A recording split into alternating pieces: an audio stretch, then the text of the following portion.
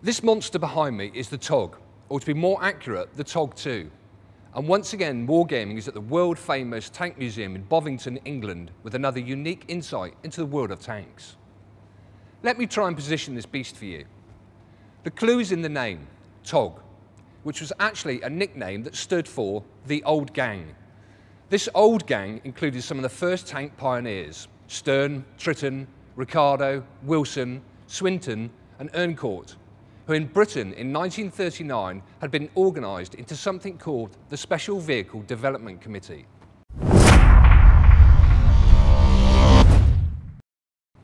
Their fear was that the coming war would be fought just as the previous one had been, with lines of strong defences that were enormously difficult to penetrate.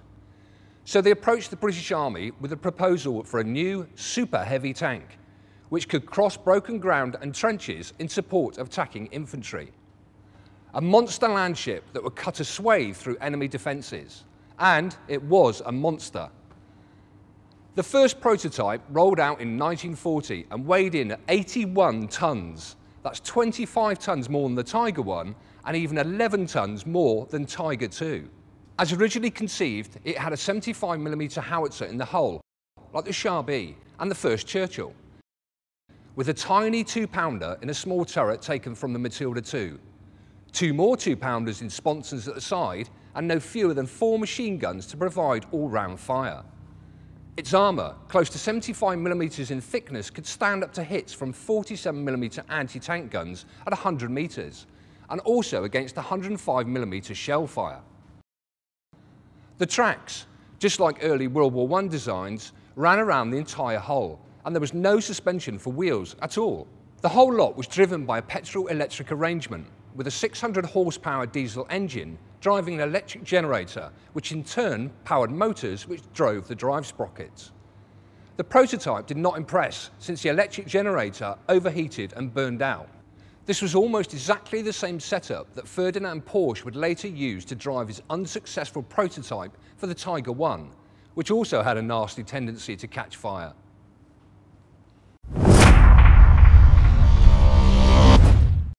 Tank technology and the new style of tank warfare, epitomised by the Blitzkrieg, were already moving on, and the TOG-1 was abandoned in favour of a redesigned TOG-2. And this one here is the only surviving example. It was just as heavy as the first prototype, but incorporated some improvements. The tracks were no longer World War I style, but ran from the front idler through a tunnel to the rear drive sprocket.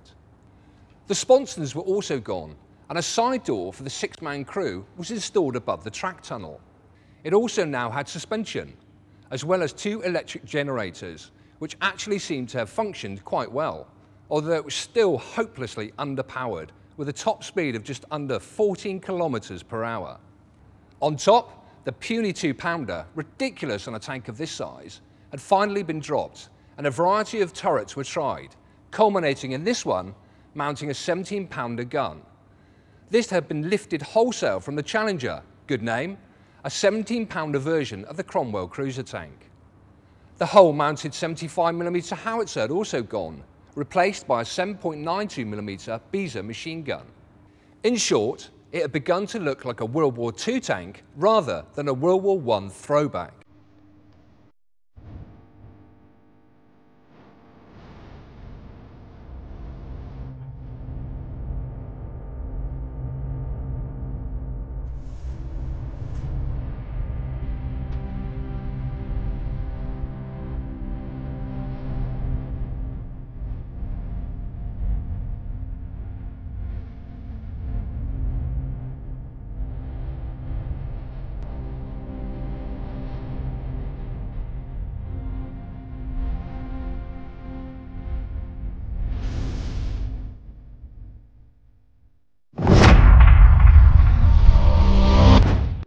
Let's now take a look inside this monster.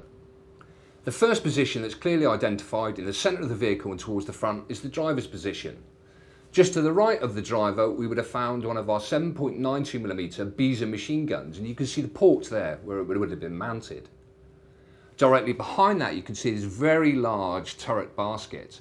Now this would actually have moved obviously in turn with the turret. And located up inside the turret, we would have found the commander, the gunner, and the first of our two loaders. As for the second loader, well, nobody's really too sure where his actual position was, so we're assuming that he would somewhere be wandering around inside the rest of this vast compartment.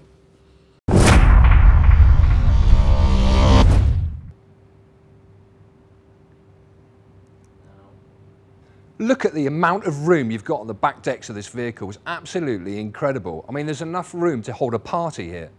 Directly in front of me, we can see we've got this great big 600 horsepower diesel engine. Behind the engine, we had the two generators, and behind those generators, we had two electric motors that drove the rear sprockets. Even had it gone into production, it is very doubtful whether the TOG would have ever had any useful role on the battlefield, other than making a nice big target. The problem was that other better tanks had already arrived, which, between them, could match or outperform the TOG in every way the Churchill for armour protection and the infantry support, the Sherman for speed, manoeuvrability, and eventually firepower. So the TOG remains an oddity, a tank that looked backwards in warfare that was moving forwards, and a warning that the demands of war often require revolution, not just evolution.